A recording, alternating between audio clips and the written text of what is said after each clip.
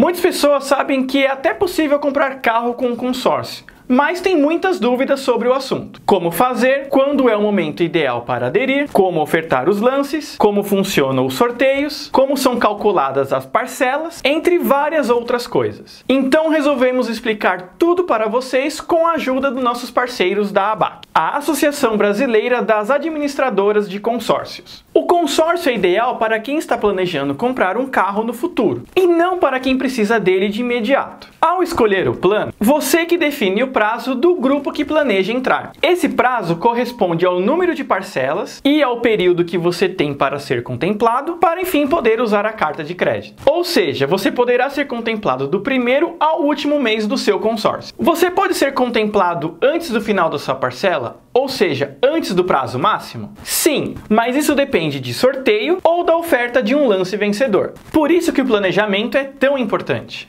Na hora de você escolher um plano, você define o quanto precisa para comprar o carro desejado. Esse valor será diluído ao longo do prazo do grupo e a fundo de reserva e seguros se constarem no contrato. Vale destacar que as parcelas do consórcio são variáveis, porque tudo é calculado em percentual sobre o preço do bem. A administradora irá definir em contrato o critério para atualização do crédito e das parcelas. Esse critério pode ser um valor sugerido pela montadora ou por um índice de preço. Dessa forma, sempre que o índice ou a tabela da montadora for atualizada, o crédito e as parcelas também serão, seja para mais ou para menos. Isso é uma forma de garantir que todos os consorciados terão o poder de compra quando forem contemplados, recebendo todo o valor necessário para comprar o carro desejado. As contemplações são definidas mensalmente nas assembleias por meio de sorteios e lances. No caso do sorteio, você concorre mensalmente e pode conseguir comprar o seu carro bem antes do que imagina. Já o lance funciona como um leilão. É contemplado aquele que ofertar o maior valor. Esse valor representa a antecipação de parcelas e é abatido do saldo devedor. Quando contemplado no consórcio de veículos, você pode utilizar o crédito para comprar qualquer veículo de sua preferência. É você quem escolhe a marca, o modelo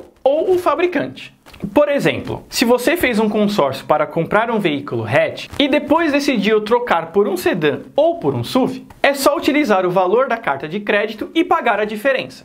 Vale lembrar que utilizar o crédito do consórcio é como comprar à vista. Você pode negociar descontos e benefícios com o vendedor. Entrevistei uma amiga que realizou um consórcio para mostrar para vocês um caso real de alguém que optou por essa modalidade. Clarice, você sabia que além do sorteio você poderia ser contemplada com lance para ganhar uma carta de crédito? Sim, sabia. Lembrando que é possível acelerar o recebimento da carta de crédito. Para isso, basta o consorciado ofertar lances, que nada mais é do que antecipar as parcelas, e com isso você diminui o prazo de pagamento ou o que foi estabelecido em contrato. Quando você recebeu a carta de crédito, você pegou o mesmo carro que estava planejando ou optou por outro? Eu fiquei com o mesmo carro, porque era realmente o carro que eu queria. Eu quero reforçar que você pode escolher qualquer marca de carro e modelo, desde que pertença à mesma categoria do bem e de acordo com as regras do Banco Central. E o que você fez quando você recebeu a carta de crédito? Assim que eu peguei a carta de crédito, fui até a concessionária para negociar o carro que eu queria.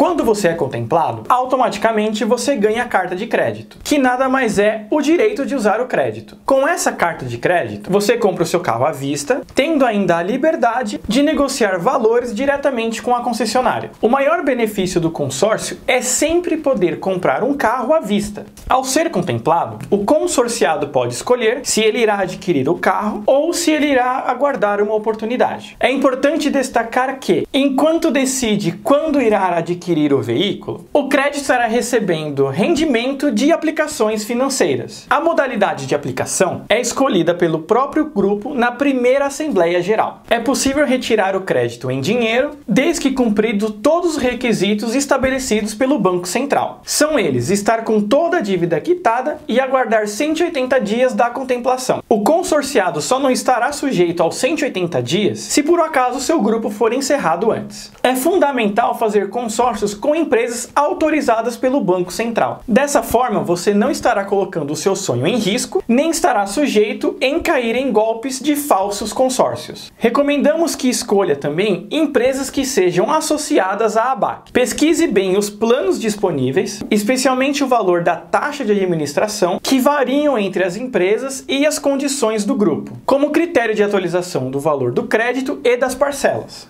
Por fim, uma recomendação muito importante.